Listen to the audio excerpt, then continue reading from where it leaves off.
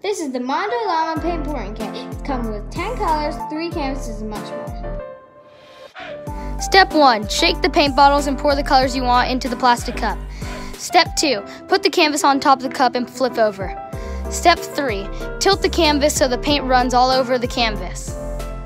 Do this until it's all over the canvas and then we're ready for step 4. Step 4. Use the popsicle stick to swirl the paint around the canvas.